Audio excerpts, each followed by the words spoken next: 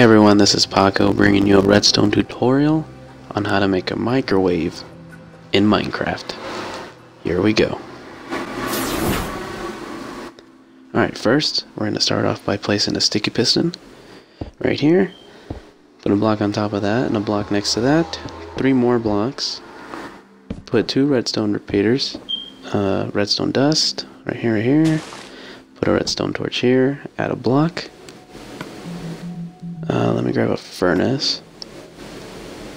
Place that there. Add a block there. Put a piece of redstone dust on top. Break the block to update the block.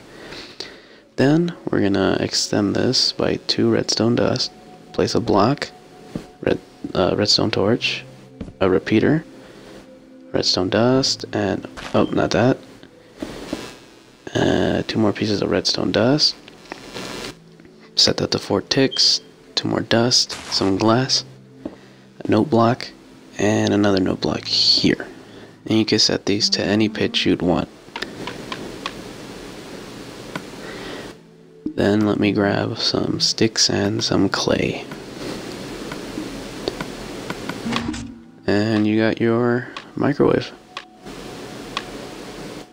Now you could uh, show off to all your friends.